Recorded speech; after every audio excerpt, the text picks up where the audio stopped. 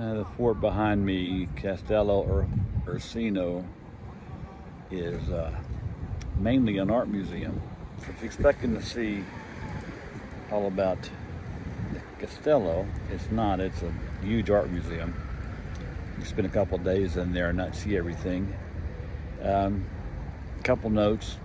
In Italy, the zero floor is the first floor. The first floor is the second floor. The second floor is the third floor. If you're on an elevator, just govern yourself accordingly. And um, that's all. Oh, just to note, when you're in, in Catania, don't pick up your dog shit. Nobody else does. Just let it uh, let it ride. They don't care.